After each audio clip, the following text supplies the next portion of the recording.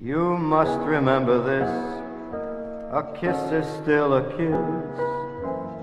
A sigh.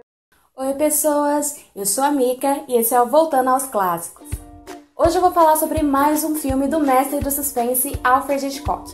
Hoje eu vou falar sobre Festim Diabólico de 1948. Mas antes de começar, eu quero pedir para você se inscrever aqui no canal. Assim você não vai perder nenhum dos nossos vídeos novos. E aí, já se inscreveu? O filme conta a história de dois homens que resolvem cometer o crime perfeito. Eles estrangulam um colega da faculdade, David. Pior do que isso, depois de matar o cara, eles colocam ele num baú, fazem uma festa e convidam todo mundo, de, é, família dele, amigo dele, tipo, noiva, todas as pessoas que conhecem ele, que convivem com ele. E pior ainda, pra ficar mais bizarra ainda a coisa, eles vão lá e servem a comida cima do baú onde está o cadáver do David. Esse foi o primeiro filme colorido do Hitchcock, mas nesse filme ele não estava tão preocupado com a questão da cor porque ele quis fazer uma coisa um pouco diferente. O filme é feito por vários planos longos, planos sequência. E é a primeira vez que um filme é feito com plano sequência desse jeito. Hitchcock viu a peça e essa peça é contínua, ela não é dividida por atos.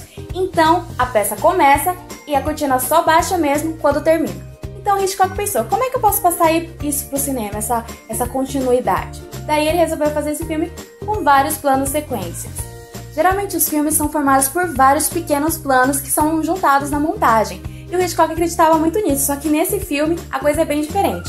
Plano sequência, na verdade, é um plano longo. Sequência, como o nome já diz, é uma cena inteira gravada numa única câmera que se move durante a cena, segue os personagens. É um plano bem complicado de se fazer, porque é aquele tipo de plano que, se der uma coisinha errada, você tem que voltar e começar tudo de novo. A maioria dos cortes é bem disfarçado. Hitchcock ia com a câmera e fazia um close na roupa de alguém para poder escurecer a tela e depois voltar com outro rolo e continuar aquela cena. Mas alguns dos cortes dá para perceber.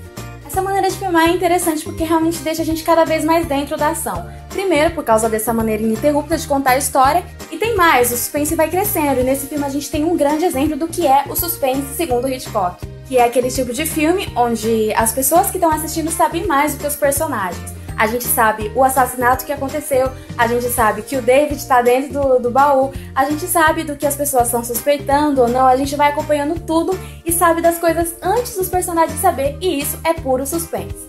Depois de alguns anos, o Hitchcock chamou esse filme de Cilada, porque é um filme bem complicado de fazer tem mais, ele disse que não entende direito porque ele quis fazer esse filme, afinal ele era muito a favor da fragmentação, como eu falei para vocês, aquela coisa de filmar pequenos planos como se fossem pequenas peças de um quebra-cabeça que você vai juntando na montagem. E nesse caso é uma coisa bem diferente, a gente não vê esse tipo de montagem tão típica do Hitchcock aqui.